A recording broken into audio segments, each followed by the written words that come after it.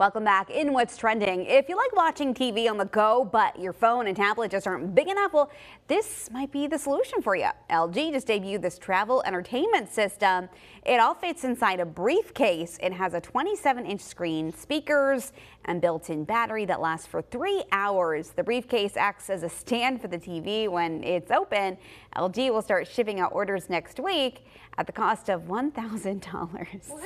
Why? I don't know. I just keep looking at it with all the pictures. I'm like, this is just comically way too large. Yes. Whatever this is. I mean, it's just like a portable laptop, a huge. Isn't Yeah. that what a laptop is? It's portable. Yeah, that's. know. But like, that, that's just way too. Like, why? I why do you need all this? We don't need any. Look, look at this in front of me now. I have one, two, three, screens. four screens. Screens. How many more screens do we need? We don't need that more screens. We don't. No.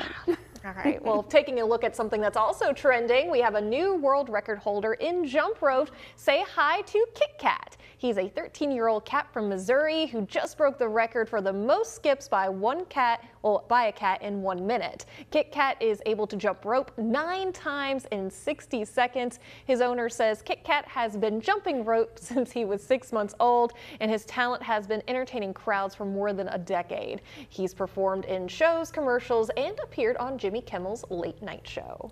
okay, I love this. I know. Can Mochi do this? No, Mochi, I feel like if I had like a jump rope near him, he would just like look at it and like kind of like, what? Yeah. You expect me to do something with this? I think he would chase it if anything. Chase it. I- Yeah. cats are really funny though when they jump. I've seen some videos and they. and that's what they look like. I mean, I guess that's why they have nine lives. Right? They always end up on their feet. Yeah, no usually, usually Mochi sometimes does not, but he's clumsy. I love We my need- cat, by the way. what. well, we need more of that in the world. yeah, we do. I love that.